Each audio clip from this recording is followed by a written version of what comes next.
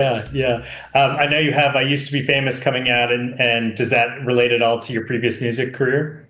Uh, I mean, I definitely drew on certain experiences of my own, but I drew on a lot of the experiences of people around me. I've got a lot of friends in the music industry, a lot of friends in the creative arts, you know, that um, we've all been kind of at this, on this journey and this path of hustling the arts since like 17 or whatever. So, you know, we're like 20 years deep. So not everyone got famous.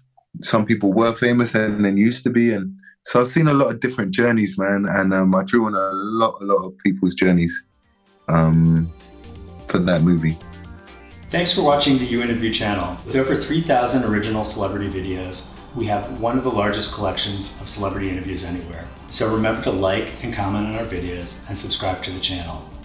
If you want to get more involved, you can become a member of the channel. Membership has its perks. You can see exclusive celebrity videos and get the opportunity to ask our celebrity guests questions. We can't wait to hear from you.